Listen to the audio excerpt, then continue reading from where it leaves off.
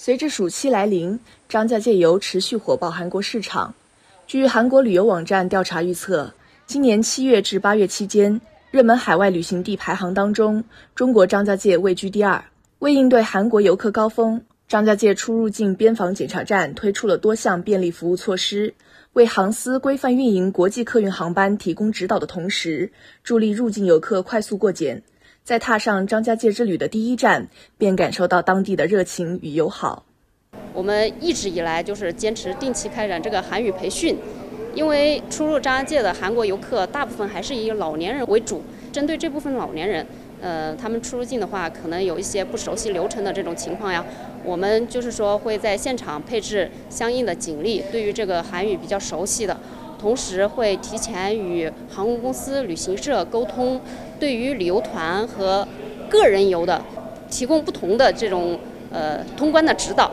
张家界出入境边防检查站执勤一队教导员朱慧介绍，对于团队游客，他们会提前和航司及旅行社沟通。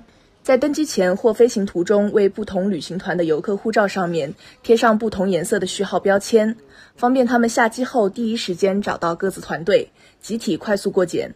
对于个人游旅客，边检站也会联络航司，提前发放外国人入境卡，指导他们在飞行途中完成填写，避免落地后因相关事宜耽误过检时间。此外，边检站还会根据航班次数与出入境游客人数调配警力，开足开满过检通道，确保高峰时段快速削峰。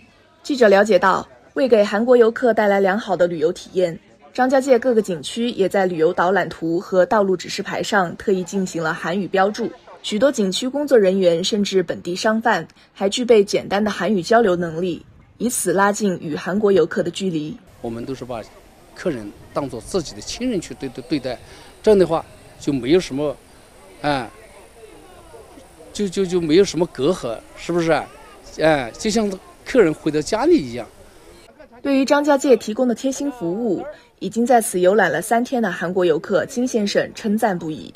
他说，在韩国，张家界因独特的山川风景和较短的飞行航程，早已声名远播。此次来到张家界，也是慕名已久。没想到这里不仅景色美，游客服务也是一流的。呃，韩国에서는하다고소문나서 다。 呃，在韩国，张家界是非常有名的。我们那里流传着这样一句话：一生必须来一趟张家界。